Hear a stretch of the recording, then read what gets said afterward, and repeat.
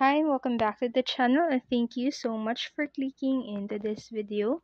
So in this video, I am going to teach you how to play solo game in your Stumble guys. So this process works on both on both on mobile devices and on your computer. So without further ado, let's get on it. So if you want to play solo here, you actually be need, needed to have two devices. So why is that? So I'm going to tell you later. So first, what you'll need to do is click onto the party game right here. And then you can choose whether you want a normal game or a custom game. So I'm just going to pick normal game.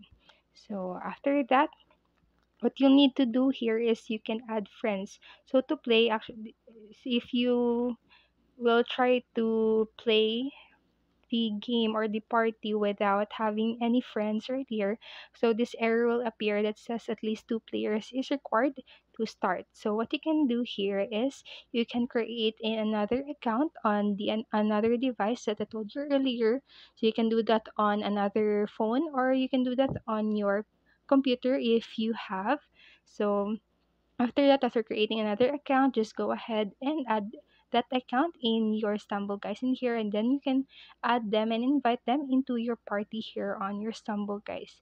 And after inviting them and them accept and then and them accepting your invite, you can now play solo like solo in Stumble guys. So that's it for this video and I hope this helped you and if it did please make sure to like, subscribe and hit notification bell button so you won't miss a video. Thank you so much for watching and have a great day. Bye bye.